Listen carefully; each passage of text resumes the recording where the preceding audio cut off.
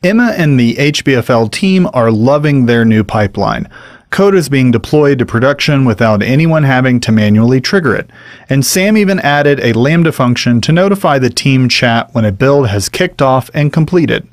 Things are going great until one day they realize everyone is pushing code to the repository, but they aren't getting any notifications of the completed builds.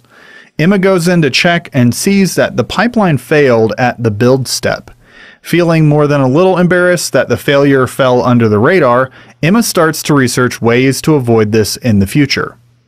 Unfortunately, there's no way to keep your pipeline from never failing. It's inevitable, and so preparing for that situation is the best that you can do.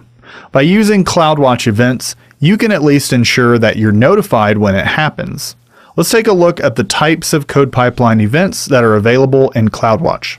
CloudWatch event rules can be configured for the following events a pipeline execution state change, a stage state change, an action state change, or for any API calls to code pipeline. The pipeline stage and action changes are the most useful here. You can listen for any changes, or you can target it to a specific change like canceled, failed, started, or succeeded. What we're the most interested in here is being able to be notified when a failure occurs. So if we set an event rule to listen on the failed state change on an action, we should get notified quickly. Let's set that up in CloudWatch. In your AWS console, go to the CloudWatch dashboard. Click on the Rules menu option under Events. If you don't have too many existing rules, you may already notice a rule named something like code pipeline HBFL master. This is an existing event rule that is set to look for changes to the HBFL repo in code commit and start our code pipeline. This is literally how that magic is happening. We're going to make a new rule that notifies us when a pipeline action fails, so click the Create Rule button. First, we'll select the service name, so click the dropdown and select Code Pipeline. In the event type dropdown, we're going to listen at the lowest level. So select code pipeline action execution state change. For this rule, we're interested in catching failures. So select the specific state radio button and then failed in the dropdown below it. Now, if we left this event rule pattern as is, it would trigger any time any code pipeline action failed. And maybe that's what you want, but let's pretend that you only want it to be notified when the HBFL pipeline actions fail.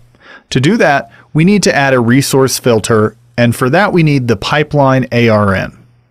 In a new tab, go to the Code Pipeline dashboard and select the HBFL pipeline.